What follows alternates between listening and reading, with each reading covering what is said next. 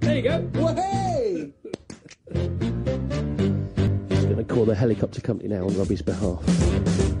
I was there to witness in business. She wants the boys to notice her rainbows and her bonus. She was educated but could not count to ten. Now she got lots of different horses by lots of different men. And